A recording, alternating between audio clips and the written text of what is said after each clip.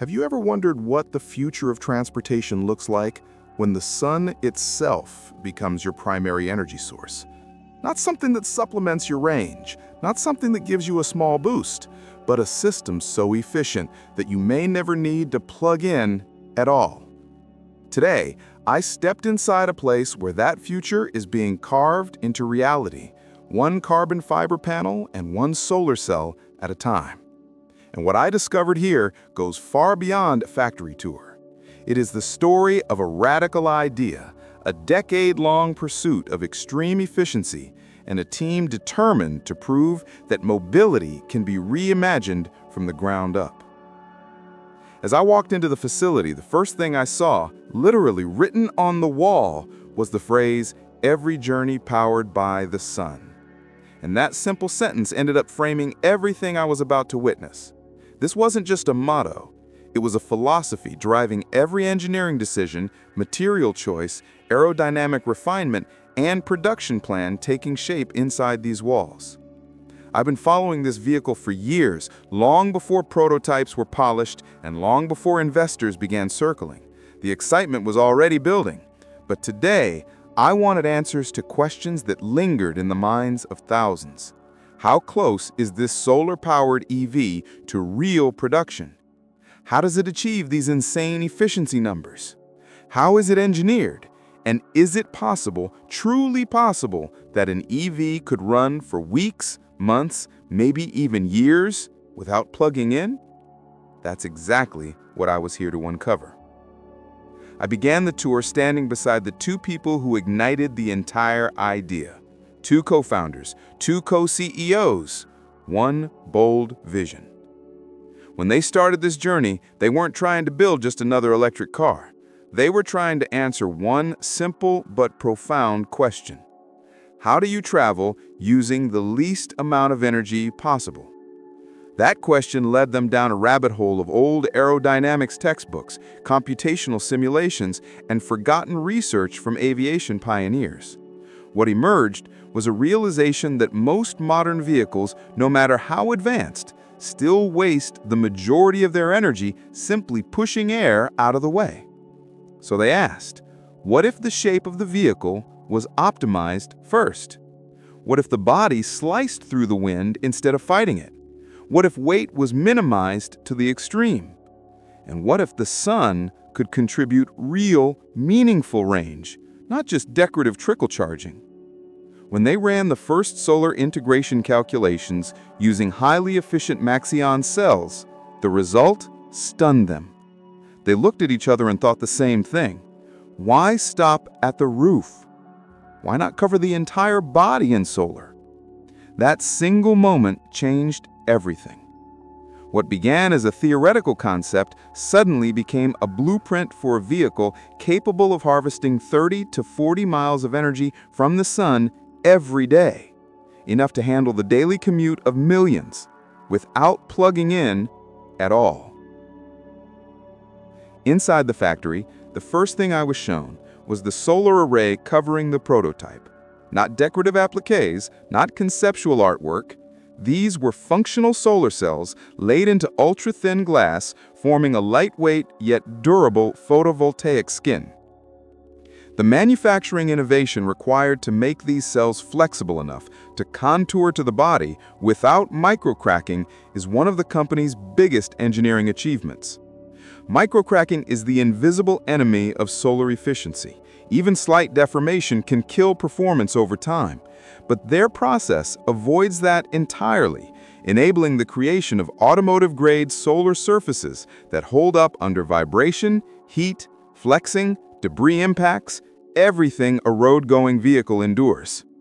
The polymer stack beneath the glass adds waterproofing, durability, and rigidity without piling on weight. The top layer, though thin, is real strengthened glass with remarkable scratch resistance and clarity. This wasn't just solar integration, this was solar reinvented for automotive use. And while the Gamma prototype uses a hybrid mix of grass and polymer as a test bed, the production intent version will use lightweight glass exclusively simply because it delivers a smoother finish, better aesthetics, superior durability, and a more consistent bond. Even on the cloudy day of the tour, we walked outside and saw the system generating power. That sight alone hinted at a future where the phrase range anxiety becomes a relic of the past. But the story didn't end there. The team revealed that their solar innovations are being applied beyond consumer vehicles. At airports, where electric ground equipment typically requires large, costly charging infrastructure, Aptera's solar system eliminates the need for frequent charging altogether.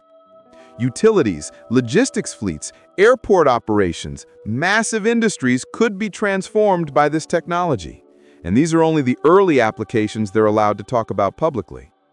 From there, the tour shifted into manufacturing, and what I saw next might be the most impressive part of the entire company. Most automakers build EVs using thousands of stamped metal parts welded together by complex robotic systems.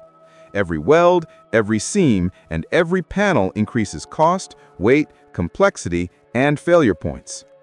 Aptera said, let's not do that. Instead, they built one of the largest carbon fiber SMC body structures ever produced, a single-piece shell created in one press operation. A structure so rigid, so dimensionally stable, and so repeatable that alignment jigs, hammers, shims, and compensating robots become unnecessary. This body doesn't flex, it doesn't warp, it doesn't depend on temperature or humidity. It doesn't fatigue the way traditional stamped metal structures do. It's closer to aerospace construction than automotive, and yet it reduces manufacturing cost dramatically. In many ways, it's the opposite of conventional EV production. Lighter, stronger, simpler, faster, more precise. And because the car is so light, most parts can be placed by human hands instead of heavy robotic arms. That means scaling to full production becomes faster and far more cost-efficient. The interior space improvements, the aerodynamic refinements, the structural enhancements, everything built into the Gamma prototype reflects lessons learned from early alphas and betas. Headroom was increased, Packaging space was optimized. The belly pan was reshaped for better battery accommodation. The tail was narrowed for cleaner airflow.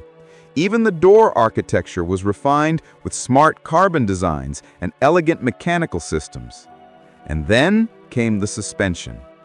A beautifully engineered trailing link rear suspension that behaves like a four-wheel system, smooth, stable, predictable. With regenerative braking doing the heavy lifting, massive brake rotors become unnecessary, opening the door to future weight reductions.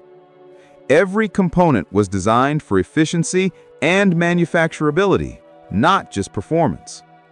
At last, I stepped up to the fully assembled production intent chassis.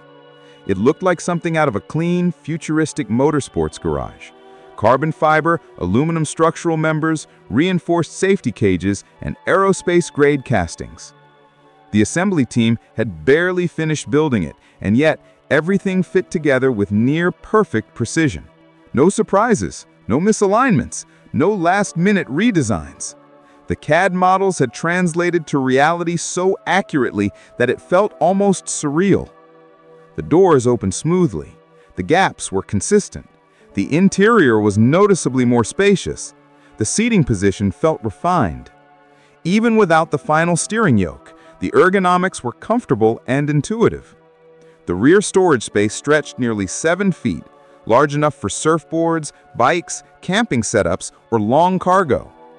Everything hinted at a vehicle built not just for efficiency, but for real-world practicality. And this was only the beginning. Track testing, powertrain validation, and long-term durability studies were next. But if the initial assembly offered any clue, the team was on the right track. To bring this vehicle to market, the company is raising $60 million in a convertible note. This funding will finalize crash structures, airbags, ABS integration, high-volume casting tooling, and production equipment. Once production begins, the first goal is a run rate of 6,000 vehicles per year, scaling upward as demand grows. For comparison, Reaching this stage in a conventional automaker would typically cost half a billion dollars or more. Yet this team reached it around $100 million, a tiny fraction compared to legacy OEMs. Efficiency isn't just what the car is built for.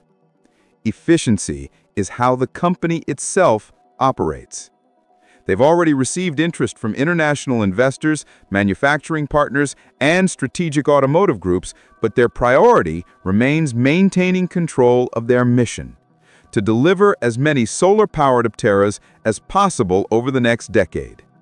And if they succeed, every journey truly will be powered by the sun.